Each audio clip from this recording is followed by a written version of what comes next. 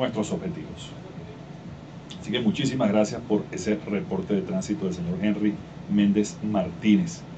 Mire, estamos conversando hoy sobre las bases que constituyen una gerencia fuerte, fuerte. Mira, debemos fortalecernos en esos valores que mencionamos. Voy a repetirlos. Honestidad en la gerencia. Es más fácil hacerlo así. Creamos un ambiente positivo, más productivo, con más producto, con más servicios, con mejores servicios y productos. Y creamos un ambiente donde podemos ayudar a las personas que están en posiciones de mayor debilidad. Porque ¿qué pasa con el tema de la debilidad en la gerencia? ¿Qué ocasiona tentaciones para refugiarnos en actividades no productivas.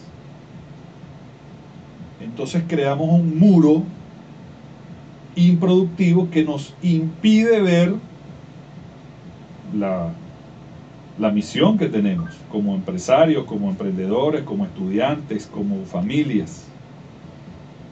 Entonces, hay que crear una gerencia fuerte. Tienes que desarrollar brazos y piernas fuertes para que influyas positivamente en los demás. Y algo, eso es algo muy importante que lo hemos dicho en muchos programas de gerencia para todos. Es necesario que todos ejerzamos el liderazgo e identifiquemos las actitudes correctas de un líder. Porque hay mucha gente disfrazada de líder, pero no lo es. En cambio, si tú examinas tu vida, tú que eres un trabajador, que le das duro, trabajas duro, tú eres un líder. Y mucha gente te está observando. Y mucha gente sabe que tú eres un líder. Quizás tú no te has dado cuenta, pero lo eres. Y si cualquiera de nosotros examina su vida de una manera retrospectiva, va a recordar momentos en los cuales ejerció el liderazgo. Y lo ejerció bien, otros momentos donde no lo ejercimos tan bien. Pero si haces esa retrospección, vas a darte cuenta que muchísimas veces fuiste un líder. Y en esos momentos fuiste una gran influencia en mucha gente. Mucha gente te recuerda por eso. Y quizás no nos damos cuenta. Pero es así. Entonces hay personas que están por encima de muchísimas veces de esas personas que supuestamente son líderes. Por eso tú ves en muchas organizaciones personas que tienen el título de jefe, título de jefe, pero no son líderes. Están bien lejos de ser líder. Y eso ocurre porque muchas veces la gente, muchas veces la gente, digo la gente, porque a veces mucha gente, tiene datos falsos que causan que cometan errores. Es decir, elevan el nivel de riesgo de sus objetivos porque tienen información falsa. Entonces es necesario que tengamos información correcta, como es el caso de TVN Radio, con su reporte. El tránsito lo coloco como un ejemplo. Entonces cuando tú tienes información cierta, e información correcta, tu nivel de riesgo disminuye y puedes tomar decisiones correctamente. Y fíjense, en gerencia hay un principio fundamental, hacer las cosas correctas, correctamente.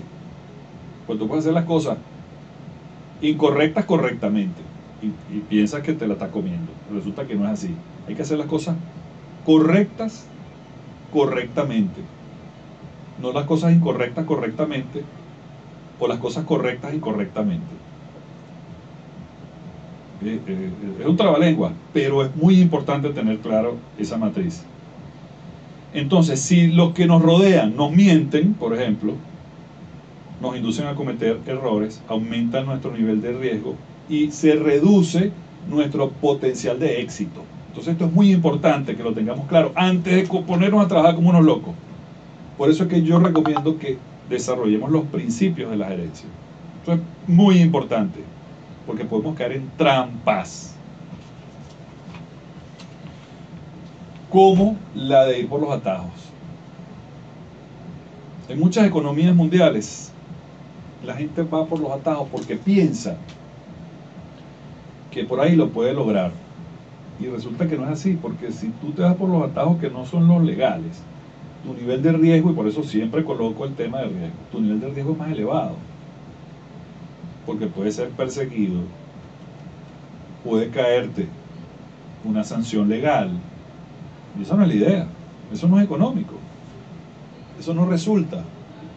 Y en el largo plazo, mucho menos. Mira, alguna persona que de una manera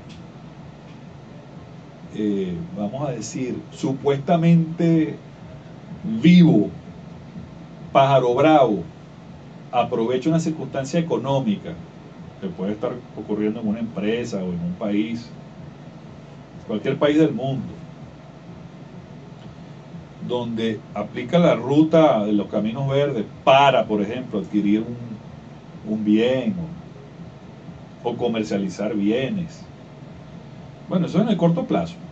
Está bien, hiciste el negocio este mes o este año ah, y el año que viene. Y el futuro. ¿Qué vas a hacer después? Cuando se acabe esa circunstancia muy particular. ¿Eso realmente es productivo? O sea, no es así. Entonces, las personas que están haciendo lo correcto, que se están preparando, son las que en el largo plazo van a triunfar. Mira, un estudiante que se copia, por ejemplo bueno, pasó ese examen, pero de repente hasta se gradúa copiándose, con una chuleta. Pero cuando vaya a ejercer su profesión, oye, va a tener bastante problemas. Su nivel de riesgo va a ser altísimo.